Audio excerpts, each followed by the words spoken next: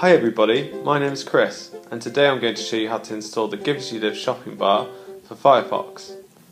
First off, go ahead and log into your Give As You Live account and click on Install Shopping Bar which is in the top navigation of the website. Our install page will detect the browser you are using.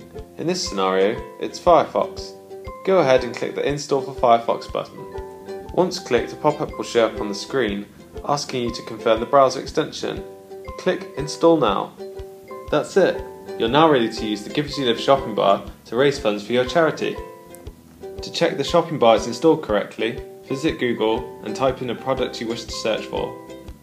You will be able to see which retailers give to charity as the Give As You Live logo will be next to the search result link.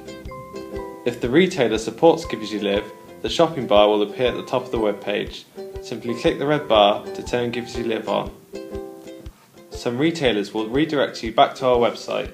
Simply click Continue Shopping or sign in if this happens. You will be redirected back to the retailer's webpage where the shopping bar will now be green and on. One last feature on the shopping bar is the ability to see stores selling your product via our Stores tab. You can find this at the top of your Google search results and it's indicated via the Give As You Live logo. All that's left to do is to go ahead and shop and you'll be raising money for your favourite charity in absolutely no time. Shopping has never felt so good.